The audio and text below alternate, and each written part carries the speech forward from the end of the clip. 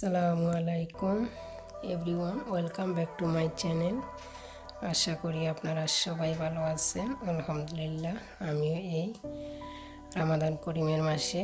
আল্লাহর রহমতে আপনাদের সবার দোয়ায় ভালো আছি। তো আজকে আমি একটা রেসিপি নিয়ে আসছি।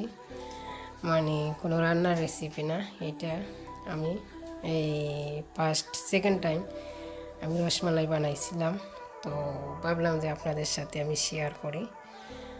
তো ওইখানে আমি নিচ্ছি এক কাপ গুঁড়া দুধ, তারপরে হাফ কাপ চিনি, তারপরে দুই টেবিল চামচ ঘি, তারপরে একটা ডিম, এগুলা নিয়েছি।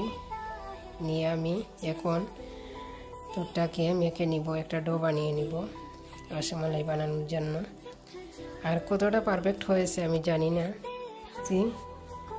এখন আমি মিষ্টি এই রসমালাই বানিয়ে নিব। তো এখন আমি প্যানের মধ্যে, চুলার মধ্যে একটা প্যান বসাই নিয়েছি। প্যানের মধ্যে হাফ লিটার পরিমাণ দুধ দিয়েছি আর দুইটা তেজপাতা আর তিন থেকে চারটা এলাচ দিয়ে আমি দুধটাকে ঘন করে জাল করে নিব।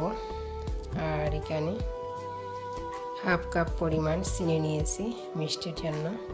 তো এখন আমি আস্তে আস্তে চুলার আঁচটা একদম লতে রেখে দুধটাকে ঘন করে নিব। আর এদিকে আমি যে ডটা দশ মিনিটের জন্য রেস্টে রেখেছিলাম, তো এখন আমি রসমালাইগুলো মানে বানিয়ে নিব।